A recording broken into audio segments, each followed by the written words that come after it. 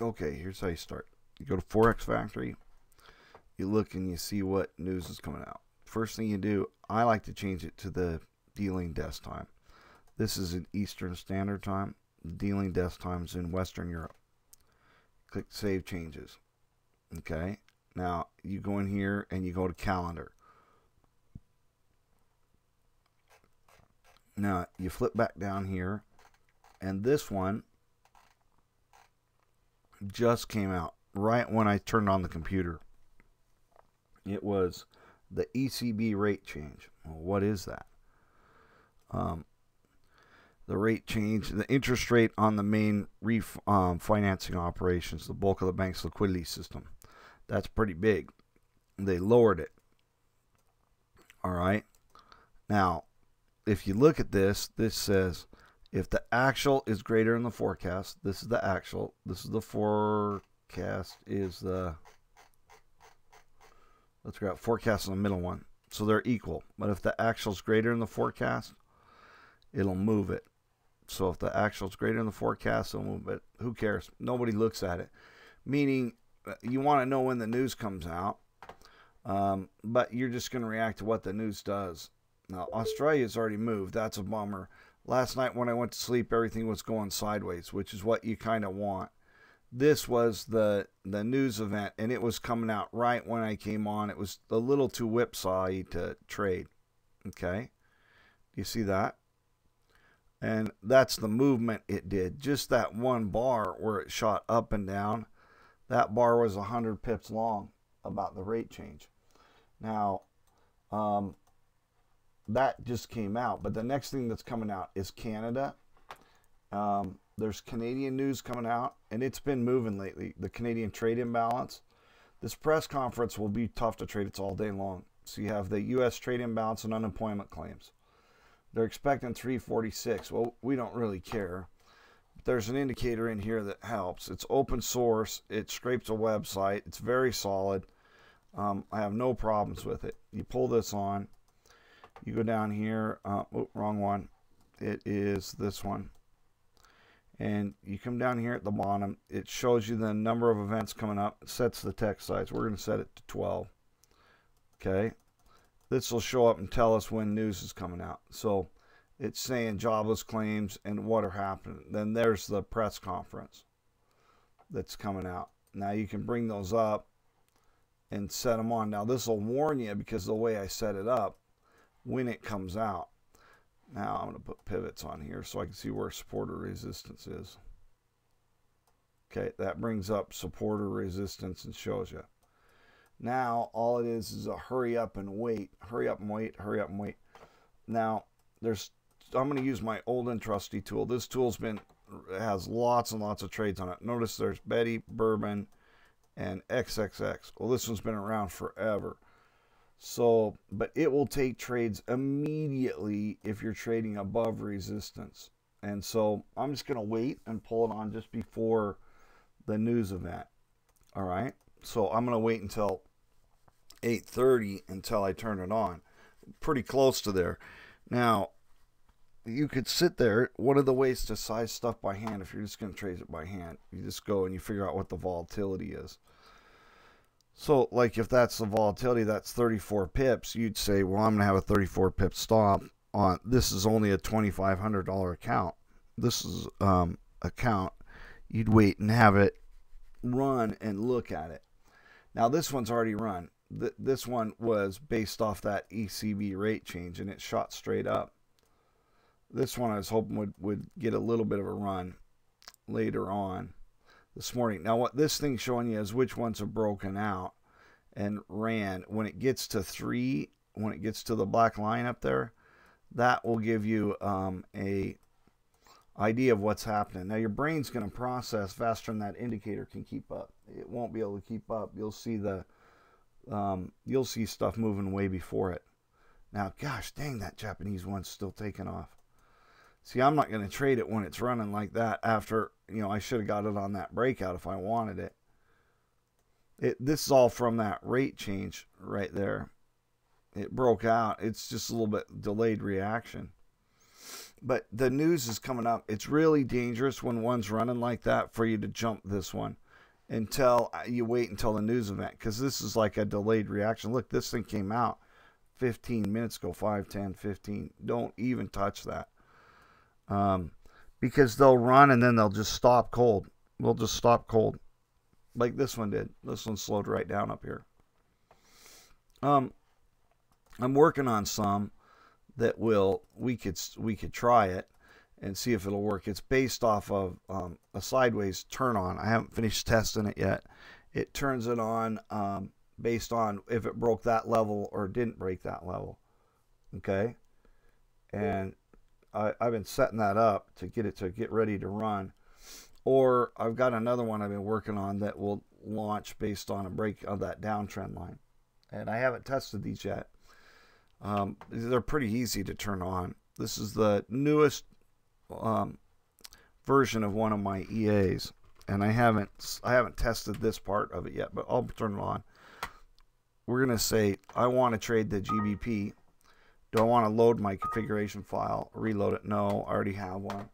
It's just gonna ask me two questions, actually, GBP USD and five minute, and then um, what I'm gonna do is now I'm gonna bring this up and see where it says stalled mode. It's not going to run while it's in stalled mode. This is what I'm testing right now. I have all the code done. Um, I'm going to go in here. I'm going to go to object. I'm going to go to edit. I'm going to put in buy stop. Well, if it goes above that, I want to have a buy stop. I'm going to edit sell stop. Okay. Now, this you have to turn on because you won't know what order those are in. So what you do is right click, you go to properties, show period um, descriptions. And the descriptions tell you if, where your buy stop and sell stop is. Now this should turn it on. Um, what we do is there's a little script here. It says drawing tools. So as long as they say buy stop or sell stop, turn it on. Um, and turn it on for bourbon. I haven't tested this all the way. So this is brand new. I don't know if it'll if that's going to run yet. So I'll do the same thing over here on this trend line. Okay. I could still trade these. I'm just going to go to AUD USD. And um, if this one breaks down, I'll take it. So would you like to configure? No. Now, I, I don't know if I've got this one set up. Reload. AUD USD. I don't know if I have a backup file on it. It'll tell me in just a second. Okay, Draghi holds press conference, that is going to move the market. That red one that just popped up. Um, he's the ECB president. He's also almost all those guys are scumbags. The ECB presidents have been just gross. There was one of them that attacked that maid in New York. Um, yeah, there's knuckleheads. Okay, so you bring this up, you right click, you go to object list, you go to edit, and I'm going to say sell stop. These trendline ones are just being tested. So let's go to sell stop. Let's click this right here and this should activate it. Only if it breaks that sell stop will it get into that. And you just pick which EA you want. So there's two of them. There's one other one that I can turn on, and this one should do it on this. Um, I'm going to bring this one on. I don't know if it'll run. It's a brand new one too. I'm gonna go USD CAD, and this one. These are this is a real account. These are real trades that'll come on. Um, uh, no. Let's click OK. If you don't have this configured, it'll tell me in just a second. USD CAD, five minute. Okay, there's no file open on that one. It's real easy to fix. Okay, um, there is a program running right here. This is for the government. This just says configure it USD. I already answered all the questions, had them ready before we went. This will say, yeah, I want to trade this. Click save.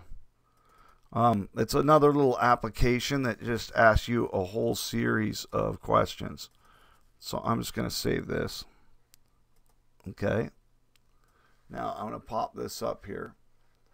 And what I'm going to do, this should have this now. So when I go to pull this on, you'll go to USD CAD. You click OK. Now, the, these two features in this one, this one, and this one, not tested. So we're going to find out if they work. But the other thing I'll trade with the other EA, USD CAD. Five minute. Now, it didn't give me an error, so it's running. It says it's install mode. This one starts if you take three Canadians, not literally three Canadians, um, the CAD, and it breaks out, it should turn on. Okay, it should. Now, that, those are non-tested. Now, the other one I'm going to trade by hand, and that one I'm just irked at. I didn't, I don't know why that one ran when the rates came out in um, Europe. But that one took off. That's a 56 pip move. That was a good one to, to catch. Now, I either do them by hand or just wait. Now, I can just wait till the news comes out. So I got 20 minutes before the news comes out okay, I if I take this one, this one is old and trusty. You bring it on, go to load, you go to Jeff, you scroll down, you say, look, that's the tick value, 30 cents a tick. You go to 0.08, um, that's max cycles. If it loses eight cycles in a row, stop. This is sell at 1 ATR, 50% of the position. Um, per, uh, let's see percent to sell at um, equal distance stop and target. Let's go 50%. It's a 20 pip stop. And then right down here, override your time filter. Yeah. Close all at break even if you lose two in a row. Sure. And um, if we get the size too small, close part of it. No, we don't want to do that. And then that'll just start to run. If it goes below the blue line, it activates. Goes above the red line, it activates. You don't have to do anything. It'll just start trading. Now, that still says stalled. See, this is the one we are testing. If the bid gets below there, that should get rid of that. Did we put sell stop on it? Let's see. So I know this is something I haven't tested yet in a, a real one for the trend line. So I know that I got a bug on that one. There's a little error right in here I got to look at. Because that should have activated. That should have went out of stalled mode. But it's a brand new thing I'm testing. So I'm going to remove that. I know that I got an issue with it and I'll deal with it later. So if you know you have an issue with it and you're in a real account, don't leave it on there. Don't don't leave it running. So that's for me. So I just removed it and said get rid of that. So I could still trade that one by hand or with one of the other EAs. This this is an EA, brand new EA, but it, it turns on and off in different ways. So we could look at just how to do it. Okay, now we just it's hurry up and wait, hurry up and wait, hurry up and wait, hurry up and wait. So now I'm just waiting, waiting, waiting, waiting, waiting. That's going to run that test, but I want to catch it running. So I'm going to go GBP USD. I'm going to open a new GBP chart. I'm going to switch it to a five minute. And what I'm going to do is I'm going to leave it running. There'll be that new EA on there. I don't think it'll fire off because it's something I was testing on. But we'll set this at really low size because I'm testing right now. Okay, and then what I'm going to do is say run 0.03 lot, sell 50%, eight losses in a row, sell 50% again. If I lose twice, get me out at break even. And if it's too small, forget it. Okay. Now, um, above that point, I'll be long. Below that point, I'll be short. It's 0.03 lots. It's 60 cents a tick. and then we just let it go and see what happens. Sometimes these can be a dud, but not too often. If they're duds, you just cut your losses as fast as possible. And so this one's set up here to run. Let's move this one down here. Now, these are all really small lot sizes that are on here um, to look at. And I can do it by hand. So what, whatever I do, though, if I want to stop this one from running, I just remove it. Okay if I was going to go down here and say, hey, I would like the computer to um, to stall it. See where that says stalled? There's some commands down here under the scripts that say um, restart EA. Let's add this to favorites. And let's go over here where it says stall EA. It says close all install. Now this close all install works. Um, add to favorites. That I've tested And the restart works. Uh, that I've tested. And um, if you come down in here and it says, um, there's one that should just say stall. I got the close all stall. These two you just leave on there. You pull them on, it would close all the open trades. This one I'll have to close all the open trades by hand, this old one. Okay, and it's starting to, to heat up right now. It's looking like that's showing like the dollar strengthening, um, dollar weakening. Boom.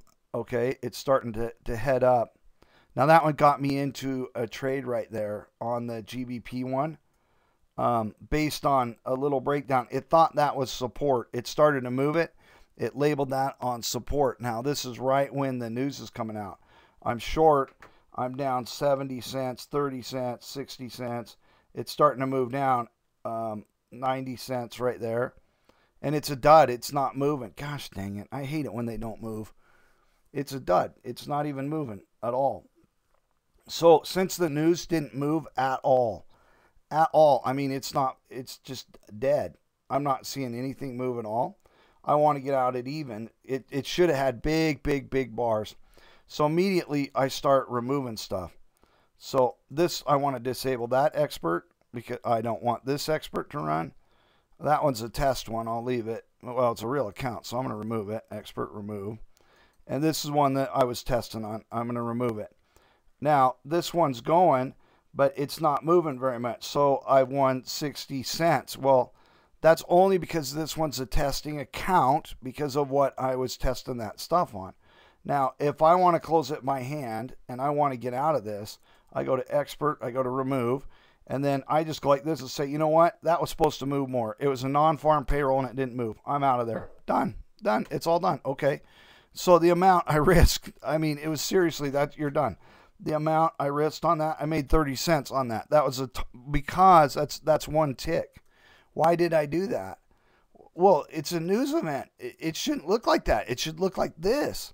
If you don't get bars that big on a non-farm news event, get out of there.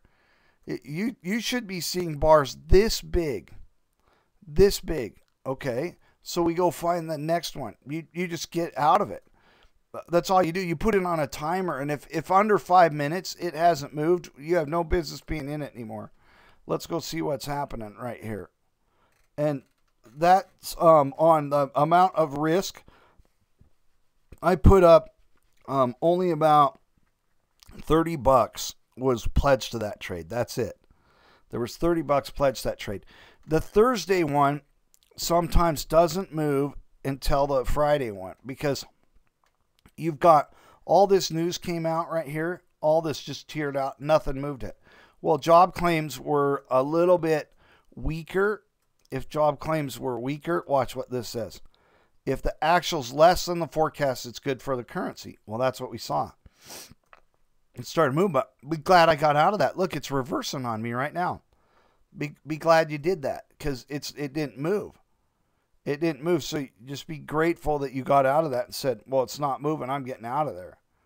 Um, because it just went for a couple ticks. Like, is this a normal bar? That's a normal bar, normal bar, normal bar, normal bar. That's a news bar. I've been trading this for a long, long time, and you you have to go bigger um, to make a little bit more money, but it wasn't moving around. Now you can see, look, this this is a you can tell up here. Here's the accounts. This is how much it's up in real profit or losses just doing that. Okay. Now I'll go through and hit it, and when it starts to run, I get all over it. I get all over it. And today it was just it didn't move at all, at all. So this one's starting to. It looks like this is saying, hey, the purpose of some of this stuff they want to weaken the dollar. They want to. They want a monetary policy of weakening the dollar. Okay. Well, that was supposed to strengthen the dollar. Well, it's not doing anything.